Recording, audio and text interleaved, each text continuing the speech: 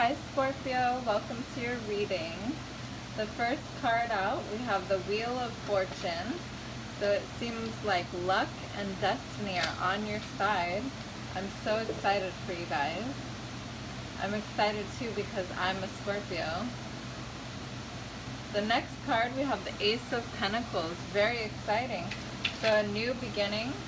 It might be um, career because it's pentacles, but then we have the lovers right next to it. So it could also be a commitment and love.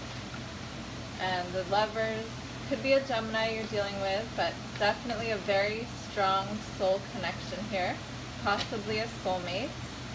Wow. you guys are getting all the good cards. So um, right after that we have the Empress. So could be dealing with a Libra or a Taurus but you are embodying the energy of the Empress this next month or so. You are knowing your worth, you're feeling empowered, and people are noticing. People are attracted to you. That self-worth is always really attractive, right? The most attractive people in the room are the ones that have the most self-love and who know their worth so with the lovers here, you might also be making a final decision on a lover. If you're dealing with two different people, you might finally find out who it is that you want to commit to. Because um, we do have the Four of Wands here, so that could signify a major commitment. It could also be marriage. And also with the Ace of Pentacles too. So really powerful stuff. I'm very excited for you guys. Um, four of Wands, so could be a twin flame. And with the lovers as well. Very powerful cards. Um, so Wands, meaning fire energy, could be dealing with a fire sign. Aries, Leo, or Sag. And we have the star card, so could be dealing with an Aquarius. But this um, signifies you know, this is something that you guys have been wishing or manifesting for a long time. I see that here. You've been working on yourself. You've been healing. You've been trying to be good all on your own without needing anyone else so that you could be the best lover or soulmate that you could. So you could attract possibly your twin flame in for union here with the Four of Wands. Alright, let's see what else comes out for you guys.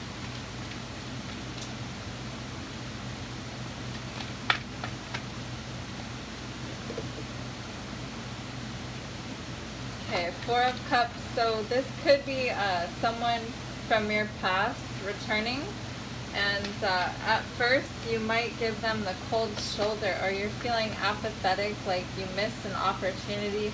Or if it is a choice between two different people, this is how you feel towards uh, one of the choices in love that you have or you could feel like you missed an opportunity with them. Okay, Seven of Swords came up. So yeah, this could be someone who hurt you in the past. They lied to you. They deceived you. Um, it's not always completely negative. Sometimes it can mean they really cared a lot for you or thought very highly of you, but they didn't really tell you that. They weren't clear, honest, or straightforward with you. Let's see what else comes out. Okay, King of Cups. So that's a water sign could be dealing with a fellow Scorpio or a Pisces or a Cancer. But yeah, I'm seeing definitely this person was hiding how they truly felt for you. They had emotions for you, but they were not honest about it yeah, they may have treated you like an option, or they may have just been confused about what they wanted. They may have had other options. What else for Scorpio? Please, Spirit, two more cards.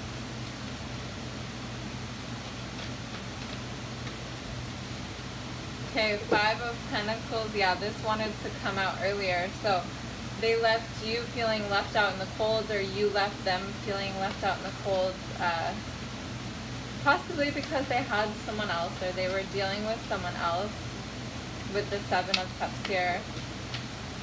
But man, we started out with like the most amazing cards in the deck and now it's getting really negative. I I gotta clarify to receive more information, but alright, one more card spirit please for Scorpios. One more card please. One more card, please, for Scorpios. Okay, King of Wands. So could be dealing with an Aries, Leo, or Sagittarius. Uh, we do have two kings here. So like I said earlier with the lovers card, you could be making a choice about two different lovers here. One that's more fiery or passionate, and one that you have more emotional bond with. So that's up to you guys to decide or figure out who that is. I'm not sure your story. I'm sure it's different for everyone, but alright, I'm going to start clarifying here. Please, Spirit, if we can clarify these cards. Let's start with the Wheel of Fortune. This is for Scorpios, please. Why is the Wheel of Fortune here for my Scorpios? There is luck or destiny involved here. Also divine timing, possibly. What is this about here? The Wheel of Fortune. Queen of Wands. Okay, so it might be uh, some advice from Spirit to embody the Queen of Wands energy. Uh, she is someone powerful who knows her worth. She's fiery, feisty, very attractive, She's a go-getter. She goes after what she wants. Okay, why is the Ace of Pentacles here? Why is the Ace of Pentacles here? Okay, this could also be another woman because we have the Three of Cups with the Two of Wands and the Page of Cups. So if this is you needing to make a choice between two different lovers of who you want to offer your cup of love to or commit to more seriously. Or this could be someone who feels this way about you. Maybe they have someone else that they need to get rid of a third party in order to come forward and be more serious with you. Okay, why is the Lovers card here, please, Spirit? Why is the Lovers card here? So, Two of Pentacles. Yeah, definitely a decision in love someone needs to make and I see that you are the more valuable option because you have more self-worth. I mean, no offense to the other person, but you know, you're doing a little bit better in your life, whether that's with like valuing who you are, taking care of yourself here with the Empress card. All right, why is the Empress here, please, Spirit? Why is the Empress here? Why is the Empress here?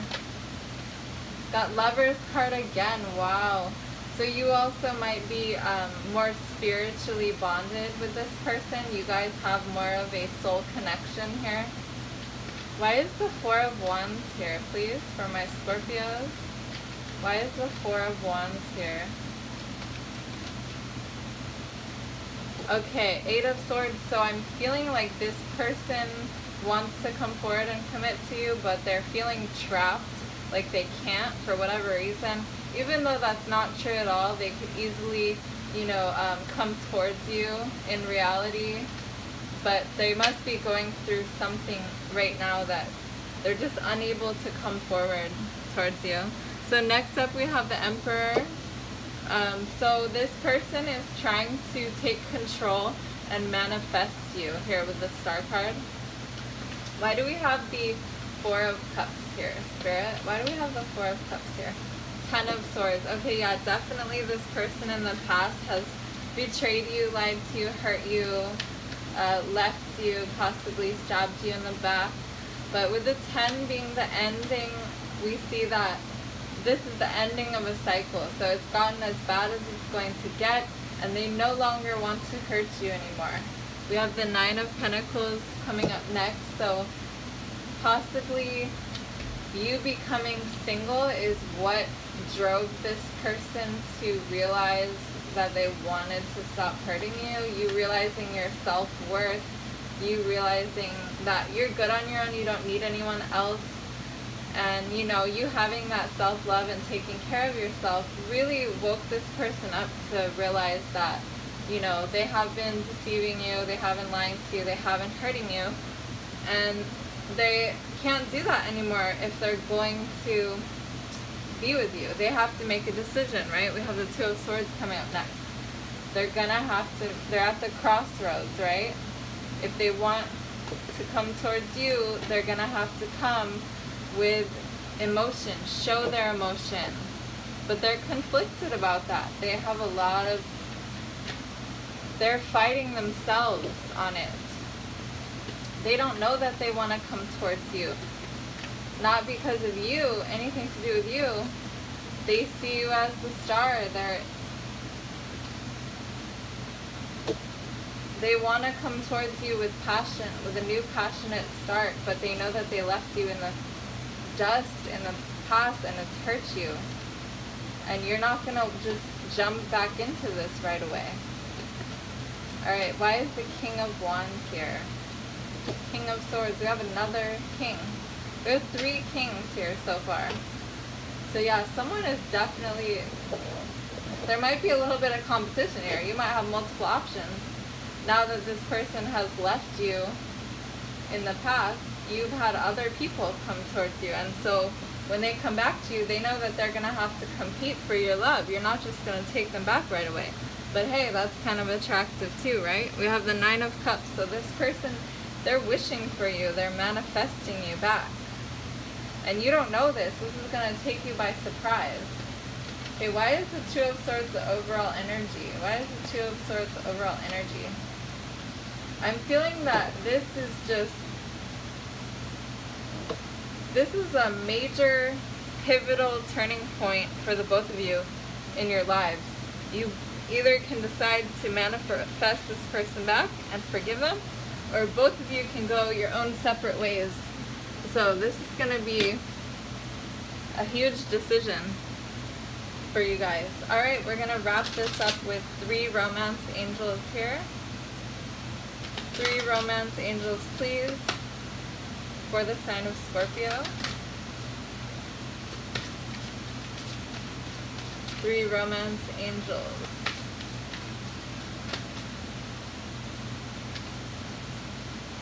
Wow, that came out fast. Okay, we have uh, release your ex. The time has come to clear your energy. Okay, so I do see a lot of kings here. I don't know if that's you or the person you're dealing with has someone that they need to release, but there's too many people here. Give your relationship a chance. Work on your partnership, okay? And chemistry, there's a strong magnetic attraction here. So Spirit is giving you the go-ahead to go after who you want, it sounds like. Okay, we have soulmate at the bottom of the deck. So someone here is your soulmate. Wow, very exciting. I hope it resonates. Please comment down below if it does. And you can also get a personal reading from me. The uh, information is in the description box. Thank you so much for watching. See you next time.